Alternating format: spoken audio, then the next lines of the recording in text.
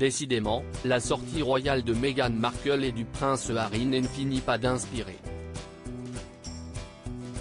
Tandis qu'un livre explosif sur le Megoi est actuellement en préparation, et auquel ils ont secrètement participé, voilà qu'un téléfilm sur le duc et la duchesse de Sussex devrait bientôt voir le jour, déjà intitulé Harry et Meghan, Escape the Palace, rapporte The Mirror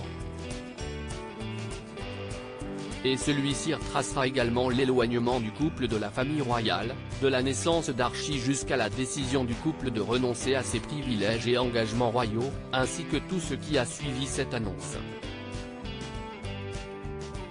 Un récit fictif affirme toutefois Television Line, qui sera cependant largement inspiré du découplage conscient et controversé du couple de la couronne, après la naissance de leur fils Archie.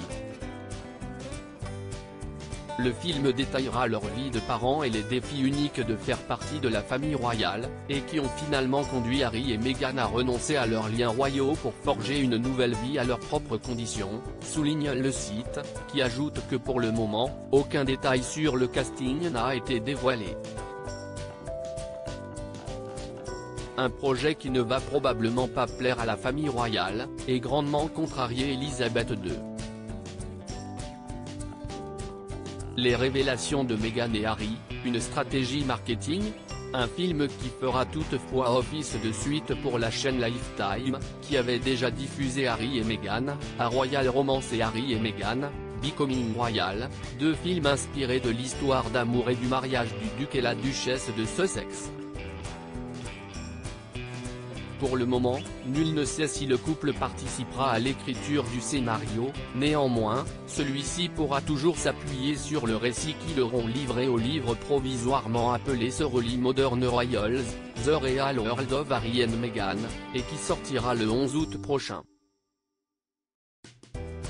Compte tenu de la franchise avec laquelle Meghan Markle et le prince Harry se sont confiés ces derniers mois, les proches d'Elizabeth II s'inquiètent déjà de ce que le couple aurait pu divulguer aux auteurs, à la fois officiellement et officieusement.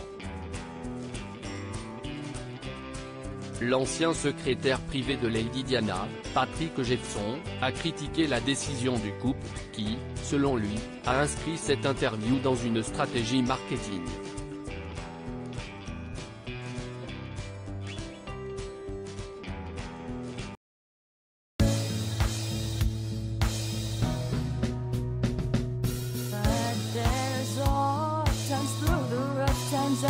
thank you.